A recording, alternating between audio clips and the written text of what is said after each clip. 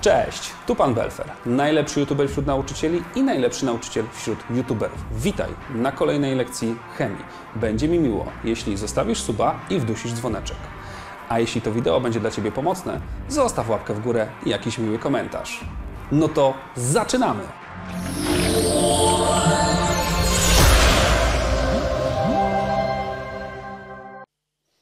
No dobra, to przed nami teraz kolejny temat lekcji, a dzisiaj porozmawiamy sobie o tym, na czym polegają wiązania metaliczne i oddziaływania międzycząsteczkowe. A krok po kroku, no to następujące sprawy przed nami. Co to jest i na czym polega wiązanie metaliczne?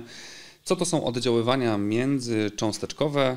Na czym polegają siły van der Waalsa i na czym polega wiązanie wodorowe?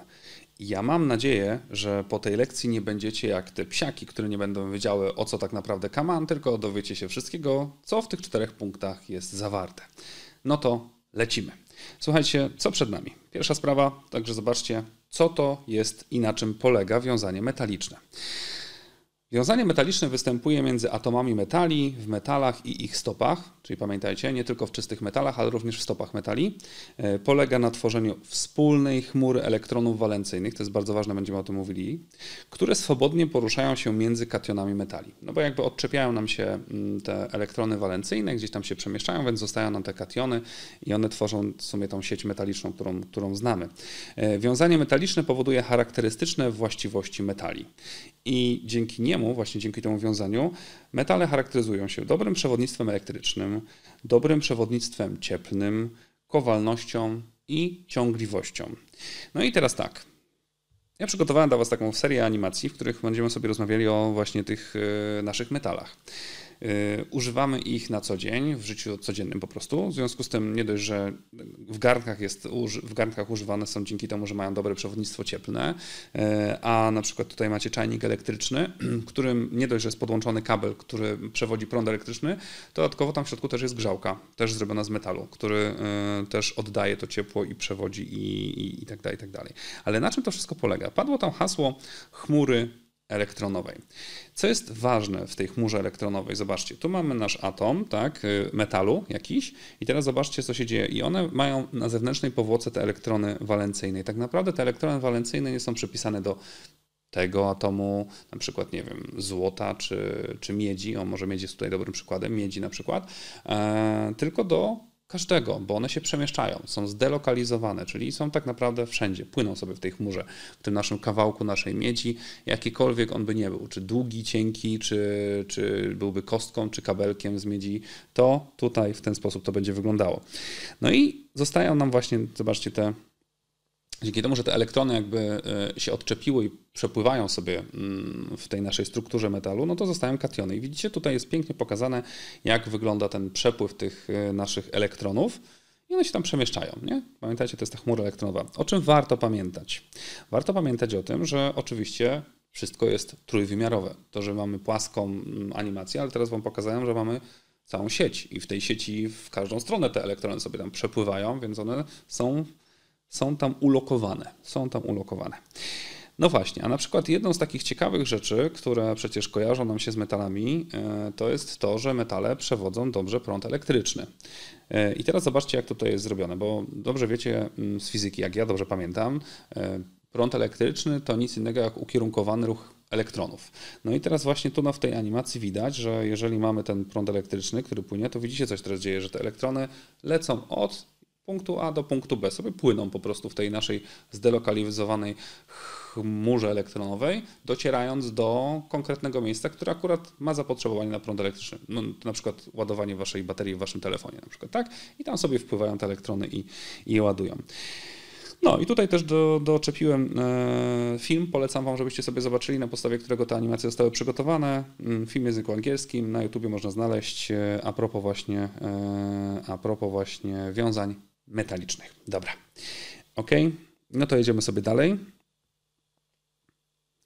Słuchajcie, drugie hasło, które przed nami na dzisiaj, y, które przed nami dzisiaj stoi, to uwaga, nic innego jak. Czekajcie chwilę. O,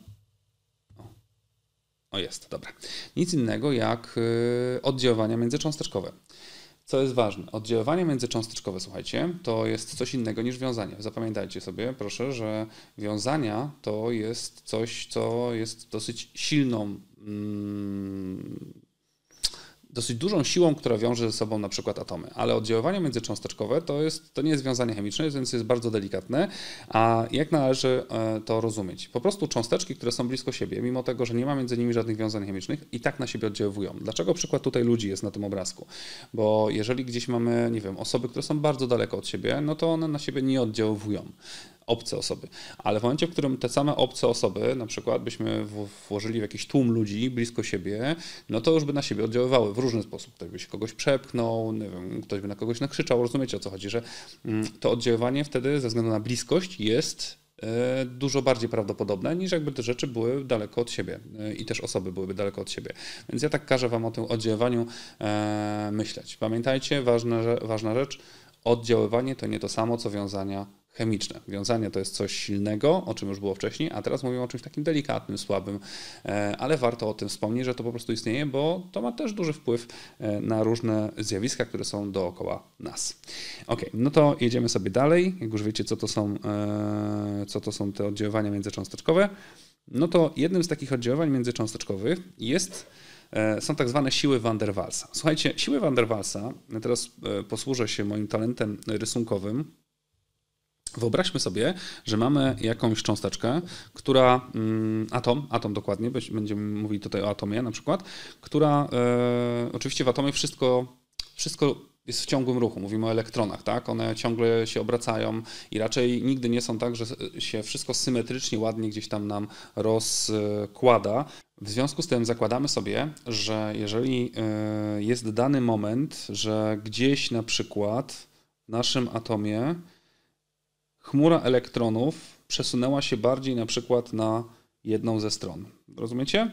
Że gdzieś tam te elektrony są po jednej ze stron, czyli tutaj. I wtedy, jak ich jest więcej po tej stronie, tworzy się ładunek ujemny, a jak jest mało po tej stronie naszego atomu, to tworzy się tutaj ładunek dodatni. Jeżeli w tej sytuacji pojawia się gdzieś obok nam druga cząsteczka, atom czy cokolwiek, która będzie miała taką sytuację, że tutaj z kolei nam się pojawi tak, że będziemy mieli więcej elektronów przesuniętych po tej stronie, to tu się zrobi minus, a tu wtedy będzie mniej, to zrobi się plus, to uwaga, co się w tym momencie pojawi? Tu pojawi się takie delikatne, bardzo słabe oddziaływanie elektrostatyczne, czyli takie plus-minus, tak? ten ładunek, który tylko jest związany, uwaga, z czym? Z takim chwilowym położeniem tych elektronów, więc to jest bardzo słabe oddziaływanie. Dlaczego ten, tak, taka animacja tutaj? Bo zobaczcie, to muszą być te cząsteczki bardzo blisko siebie, tak jak tutaj raz widać ładnie, że się to wszystko do siebie zbliża i dopiero teraz jest chwila oddziaływania e, tych dwóch rzeczy. E, ale za chwilę może być zupełnie inna sytuacja, ta, tych, układ tych elektronów i to oddziaływanie znika, więc to jest bardzo ważne. Pamiętajcie, siły van der Waalsa są jedną z form oddziaływań międzycząsteczkowych związanych z chwilowym ułożeniem elektronów walencyjnych w atomach i powstającym dzięki, tym, e, dzięki temu cząsteczkowym ładunkom elektrycznym. To jest to, co tutaj na tym rysunku zrobiliśmy. Bardzo ładny rysunek tutaj zrobiłem, także starałem się naprawdę, starałem się. No i przechodzimy sobie dalej, słuchajcie. Mm, innym rodzajem oddziaływań międzycząsteczkowych jest e, wiązanie wodorowe. I wiązanie wodorowe występuje w cząsteczkach, które, uwaga, które właśnie, e, które zawierają atomy wodoru połączone z silnie elektroujemnymi niemetalami. No i macie przykład. Woda, amoniak i fluorowodór. E, wodór ma pewną swoją wartość elektroujemności, a niektóre niemetale mają dużo wyższą e, elektroujemność niż wodór. W związku z tym to powoduje do tego przesunięcia się tych elektronów od wodoru w stronę to już było wcześniej mówione, w stronę tego silnie elektroujemnego pierwiastka, no i wtedy tworzy się tam ten cząstkowy ładunek dodatni ujemny, tworzy nam się dipol. No i teraz zobaczcie, że jeżeli mamy taką sytuację, że są takie związki, w których te, mm, te atomy, takie jak tlen, azot i fluor są na tyle silnie elektroujemne, jak tutaj mamy tym, na tym rysunku dotyczącym tak symbolicznie wody, no to w tym momencie te cząsteczki między sobą zaczynają nawet oddziaływać. Już nie tylko wiązanie, tylko te cząsteczki między sobą. Zobaczcie, o czym ja tutaj mówię. Widzicie, to jest dokładnie to, co teraz sobie zarysowuję. Pojawia nam się takie oddziaływanie między wodorem jednej cząsteczki, a tlenem drugiej cząsteczki, no bo ta różnica elektronności powoduje, że one nawet się przyciągają między sobą. I to jest oddziaływanie już między cząsteczkami, to co tutaj widzicie, czyli to jest oddziaływanie międzycząsteczkowe. Mm, no i ono występuje właśnie w tych cząsteczkach takich jak woda, amoniak i fluorowodór. No i nie ma to oddziaływanie takiego małego znaczenia, bo wbrew pozorom dzięki temu oddziaływaniu właśnie yy, możemy powiedzieć sobie, że na przykład jest życie na naszej planecie. Dlaczego? No bo yy, wiecie dobrze, że yy, temperatura wrzenia wody w warunkach normalnych, czyli 1014 hektopaskali, to 100 stopni Celsjusza. Poniżej od 0 do 100 stopni Celsjusza woda jest cieczą. I teraz wyobraźcie sobie, że gdyby nie wiązania wodorowe, to tak by nie było, bo to właśnie wiązania wodorowe powodują, że potrzebujemy dodawać większą ilość energii, nawet całkiem sporą, żeby zepsuć, zniszczyć te wiązania międzycząsteczkowe, które występują między cząsteczkami wody i uwolnić cząsteczki wody od siebie, żeby się już ze sobą nie trzymały i każda cząsteczka wody zamieniła się na przykład w gaz pod tytułem para wodna, który sobie gdzieś tam krąży. Tak? I stosunkowo niska masa cząsteczkowa wody, która wynosi 18 unitów, jeden wodór waży 1 unit, tak? masę atomową ma taką, tak jak dodamy, dodamy dwa wodory, to jest 2 unity, plus, e, plus tlen 16 unitów daje nam 18 unitów. Podpowiadałoby, że skoro jest tak lekka cząsteczka, to bardzo szybko powinna zamieniać się w gaz, nawet poniżej 0 stopni Celsjusza. Ale okazuje się, że tak nie jest.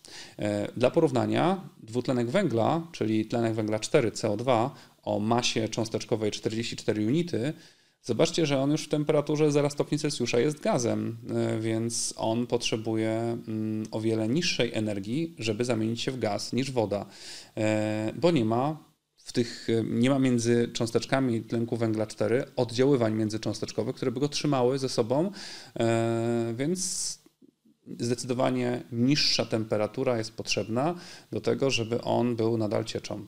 No i gdyby tak było w przypadku wody, no to nigdy życie by na naszej planecie nie powstało, no bo wiecie, że w tym zakresie od 0 do 100 stopni Celsjusza e, właśnie mamy warunki takie, jakie są, żebyśmy mogli przetrwać. Oczywiście nie, oczywiście nie do tej granicznej sytuacji, ale tak e, no, no, ciekła woda nam to zapewnia. A to, że ona jest cieczą, no to zapewnia nam to wiązanie wodorowe, które tutaj widzicie na tym rysunku, tak? Także to oddziaływanie między cząsteczkami.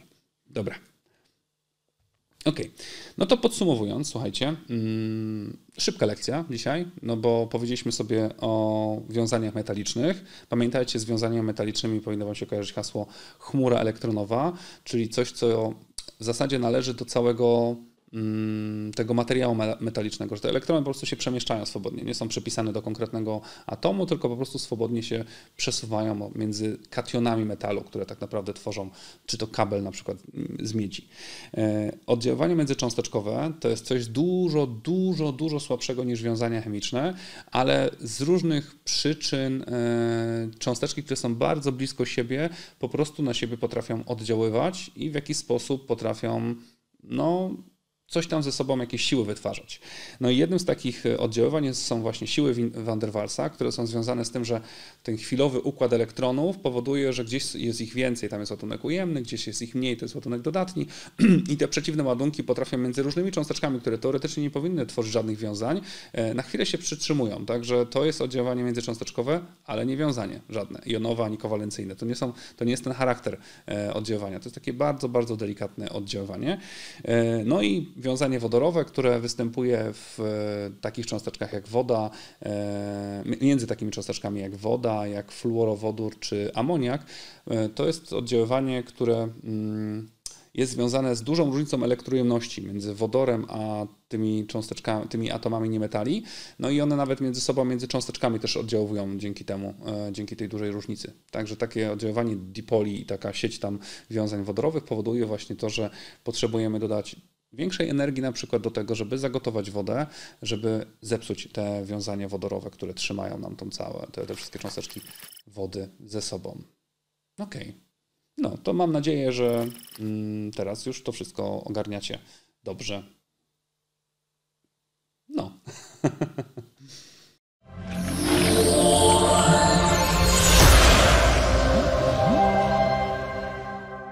Mam nadzieję, że Ci pomogłem. Pamiętaj o subie, dzwoneczku, łapce i tej całej YouTube'owej reszcie. Poleć mnie swoim znajomym. No i do zobaczenia w kolejnej lekcji.